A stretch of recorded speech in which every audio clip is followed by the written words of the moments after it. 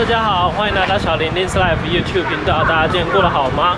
那我们现在时间是下午的三点二十六分。那今天是二零二零年的十二月二十八号。那距离我们的二零二零结束大概只剩下三天吧。那我现在呢，在我现在人在屏东的中山公园，屏东市的中山公园。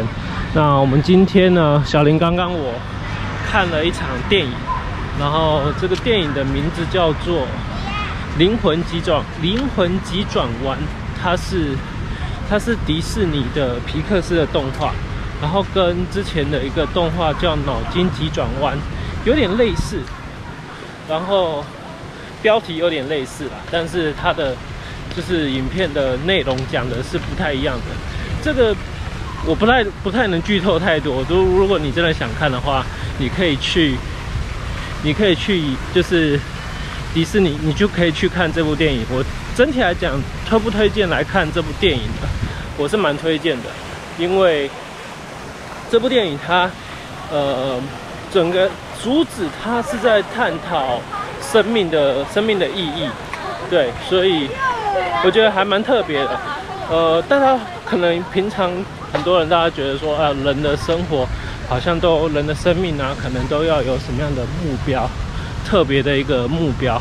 可是很多人，比如说，比呃，比如说有些人觉得说，哎，我生来可能我的目标，我的人生的目标就是要成为音乐家。像影片里面的主角，他叫做舅他叫做乔，他觉得他从小他爸爸启发他学习那个爵士音乐，然后。他就觉得说，他想要成为他人生的目标就是成为一个爵士的音乐家，但是他一直都觉得说，我生涯的目标就是成为一个很棒的爵士钢琴的演奏家，所以他非常的积极营营在成为爵士钢琴家的这个目标上。可是他母亲呢，就觉得说，不对，乔，我觉得你。生活的目标就是要找到一个稳定的工作，然后成为爵士音乐家。收入不稳定啊，生活不稳定，所以每个人对于自己人生的定义目标都不太一样。那这个桥呢，它在有一次的意外当中，就是真的是意外，他就是踩空了，踩空了一个路面，然后掉了掉到一个涵，就是路面底下的涵洞。然后他就过世了，然后他就突然离开了这个人世间。然后，呃，影片里面他就是迪克斯，呃，皮克斯的动画就是用一个，就是他他的灵魂去讲述这个故事。他是什么样的一故事呢？就是他从这个故事里面告诉我们说，其实，呃，怎么说呢？我要我要用怎么样浅浅显的语句来跟大家讲，其实。皮克斯他想要借由这部电影来告诉大家，其实人活在这世界上，目标什么的其实很重要。可是最重要的目标，人生活的意义就是活在当下，去享受那个当下，去体验那个当下。虽然我们人有很多的目标，可是每一个目标都是由每一个当下慢慢累积而成的。所以活在当下，享受那个当下是非常重要的。对，所以这是皮克斯想要借由他的电影这一部《灵魂急转弯》来告诉我们。对，那刚好我们今天在一个还不错的地方——中山公园。我觉得这座公园它就是很棒，它就是有一点就是环绕，就是非常多的树林。然后我想说，刚好看完这部电影，热腾腾、非常新鲜的，然后跟大家分享。对。那这部电影《灵魂急转弯》，其实小林，我当初在看的时候，我就有设定说，呃，我大概三三个月前看到这部电影的，就是预告吧，然后我就觉得说，哎，这部电影还蛮有趣的哦，它透过就是一个灵魂的角度在说故事，然后我觉得说，哎，说不定可以就是来观赏一下，因为我觉得有时候。大部分人，我也跟大家一样，就是生活的时候有时候会迷茫，就是觉得说，哎，生活的目的到底是什么？人生的目的到底是什么？那其实看到这部电影以后，我会觉得说，哎，其实活在当下去体验、享受人生，然后但是不要忘记自己的目的还有初衷。那经由每个片刻去慢慢累积生活的一些经验啊，然后慢慢的去达到这个目标。我觉得这个是呃我在电影这部电影《灵魂急转弯》里面得到一个非常大的启示。对，然后顺便说一下，因为现在感觉大家就是进电影院的人好像不是很多。那确实，跟跟大家讲一下，就是因为现在的这个情况啊，所以进电影院看电影的人本来就比较少，而且进电影院比较尴尬的是要戴着口罩。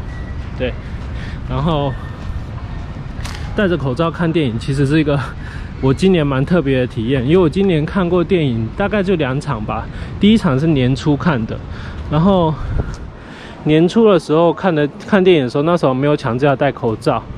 我记得印象中没有强制要戴口罩，可是这次进去很明显就是你进去一定要戴口罩。对，那为什么会停在这边？我会觉得这个 这个游乐设施很特别，想要停在这边给大家看。然后进电影的时候，因为今天刚好也是也是平日，所以。就是本本身电影院人就很少，而再加上现在这样的一个情况，进电影院的人真的是就是非常的少，几乎是没有人。对我整整个电影院加我还有其他观众加起来应该不到不到七个吧，不到七个，我想应该不到七个。对，所以就是人非常的少。对，然后我就想说，哎，人很少，然后就是。